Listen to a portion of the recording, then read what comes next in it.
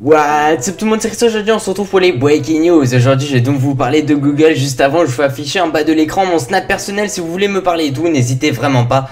Euh, c'est avec un grand plaisir que je vous fais ça. Et j'adore parler de Google tout simplement parce qu'à chaque fois que je parle de Google, à chaque fois on se retrouve dans des situations complètement folles, délirantes.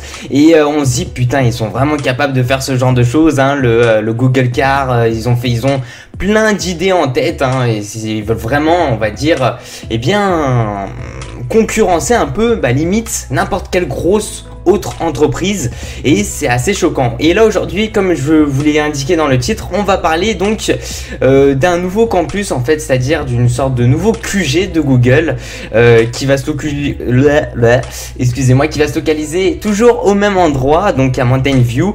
Euh, ici, donc on a pu aussi voir auparavant avec Apple qui ont voulu créer un peu aussi, enfin qui vont vouloir aussi créer plutôt un peu leur propre endroit et tout. Facebook aussi, mais c'est plus des bâtiments et tout, sachant que Facebook a quand même environ 10 000 employés. Ici, on parle de Google, le Googleplex plus exactement. Et je vous, vous citer un peu les informations à propos eh bien, de, ce, de ces nouveaux locaux parce que c'est plusieurs immenses bâtiments et c'est pas rien, c'est Enfin, quand on se dit que je crois que d'ailleurs que normalement Google a leur propre, euh, leur propre centrale nucléaire, faut quand même se poser pas mal de questions et se dire que c'est pas rien et forcément euh, ça, on va dire un peu mondialise. Enfin, c'est quelque chose, une entreprise euh, qui euh, a fait un énorme succès.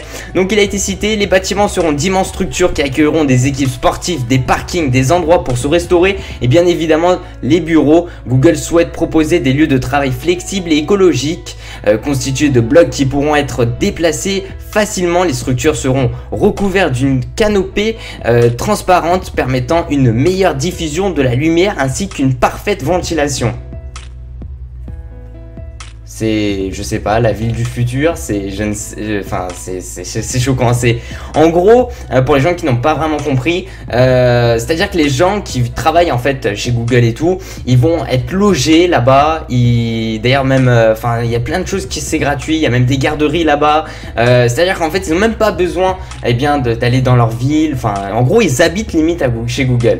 Ils ont leur habitation chez Google. Et Google euh, et c'est pour ça que j'aime beaucoup cette grosse compagnie même si des fois bon, ils abusent un peu et c'est vrai qu'ils sont vraiment là pour l'argent, mais ils ont vraiment des très bons principes, c'est-à-dire que les gens qui travaillent là-bas, ils ont des objectifs à, atteindre, euh, et ils peuvent, c'est-à-dire travailler chez, eux, enfin tant qu'ils font le travail et tant que euh, les objectifs sont réalisés, eh bien ils continuent euh, leur job. Et c'est vrai que pour moi ça je trouve que c'est une très bonne idée et ils ont plein de choses de détente, même des massages, enfin c'est faut, vraiment, je sais pas si vous avez regardé des reportages ou des trucs comme ça. Moi, j'ai travaillé ça en course euh, à propos de Google.